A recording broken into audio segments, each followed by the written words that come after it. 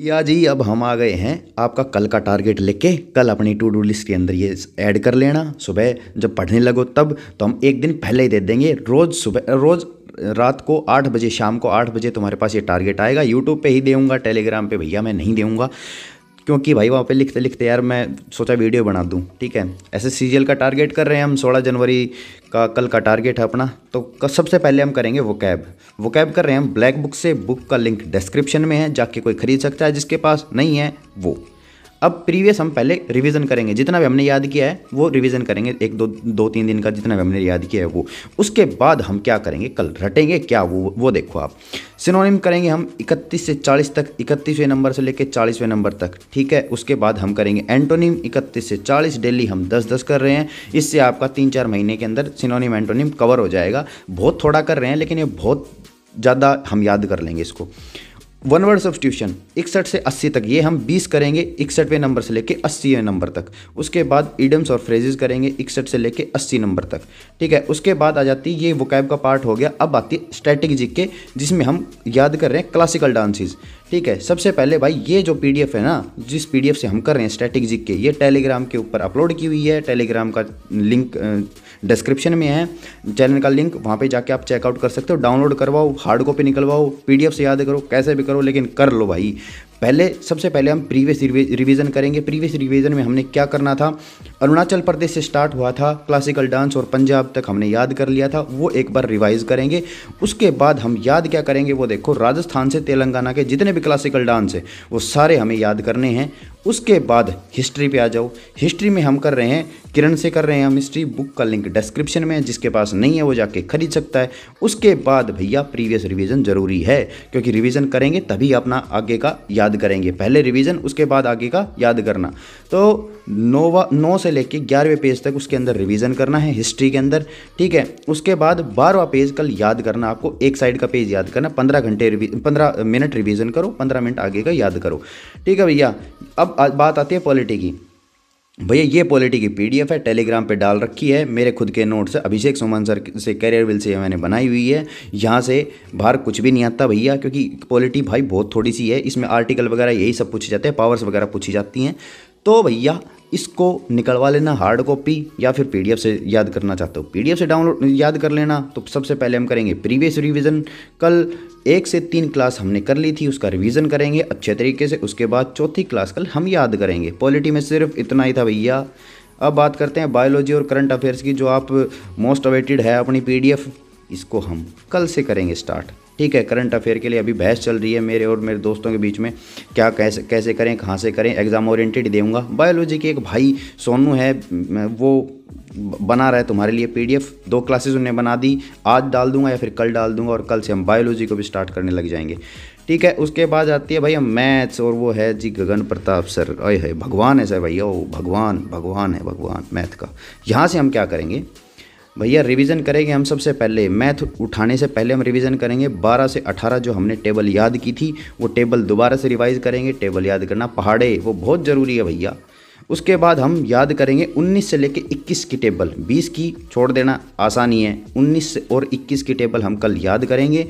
उसके बाद हम रिवीजन करेंगे क्यूब जो हमने 1 से 20 तक याद की थी। 1 से 20 तक ही क्यूब याद कर लेना। इनफ है भाई।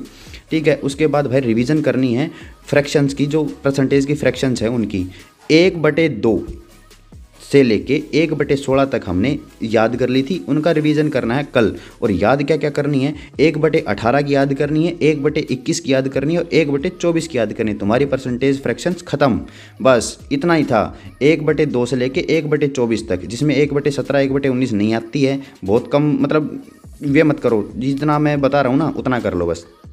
उसके बाद परसेंटेज में हम क्या करेंगे? सबसे पहले तो भैया नोट्स हैं मेरे मैथ्स के, जिसको अच्छे लगते हैं। टेलीग्राम के ऊपर मैंने दो टॉपिक डाल रखे हैं थ्री और नंबर सिस्टम और इंग्लिश के नाउन के डाल रखे हैं। जिसको समझ में आते हैं और वो नोट्स से करना चाहता है तो हम तो भैया करवा रहे हैं नोट्स से ही। आप अगर नोट से करना चाहते हो इंस्टाग्राम का लिंक डिस्क्रिप्शन में है। जाके इंस्टाग्राम पे मेरे को मैसेज कर देना, मैं आपको दे दूँगा। लेकिन सबसे पहले ना मेरे नोट्स देख के आना, उसके बाद ही आप नोट्स परचेज करना। ये पेड होंगे मैथ के सौ रुपये में इंग्लिश के भी सौ रुपये में। ओके भैया जी तो हमने कॉन्ग्रेचुलेशंस हमने पहली सीट कंप्लीट कर ली है। बिल्कुल परसेंटेज की दूसरी सीट हम स्टार्ट कर रहे हैं। दूसरी सीट में हम क्या करेंगे भैया? दूसरी सीट के एक से लेके बीस तक के। एक से क्योंकि मैंने पोल डाला था कल टेलीग्राम के ऊपर, बीस क्वेश्चन करवाएँ या तीस क्वेश्चन करवाएँ, सब बोले जी बीस ही करवा दो, हमसे नहीं होते। कोई बात नहीं भैया, बीस क्वेश्चन कर लो, इससे आपका तीन महीने में पूरा मैथ कंप्लीट हो जाएगा। ठीक है जी, उसके बाद भैया हम थ्री उठा रहे हैं मैंशरेशन थ्री ठीक है, उसमें हमने पहली दो सीट कंप्लीट कर ली थी, फ़र्स्ट और सेकंड।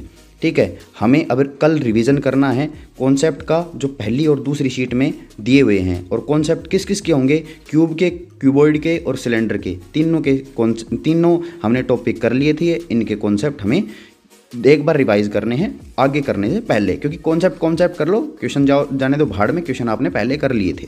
ठीक है जी भैया जी, उसके बाद हम करेंगे कल, कौन स्टार्ट करेंगे? थ्री थर्ड शीट अपनी।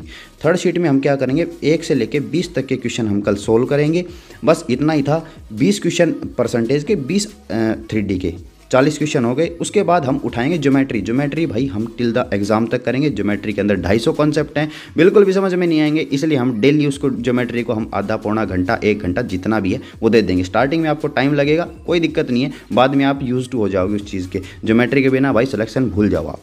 तो भैया कॉन्ग्रेचुलेशन हमने पहली सीट कंप्लीट कर ली थी और पहली सीट हमने कौन सी कंप्लीट की थी? लाइन एंड एंगल्स की। ठीक है, उसके सिर्फ़ आपको कॉन्सेप्ट रिवाइज करने हैं और आगे कल कौन सा सोल्व करना है?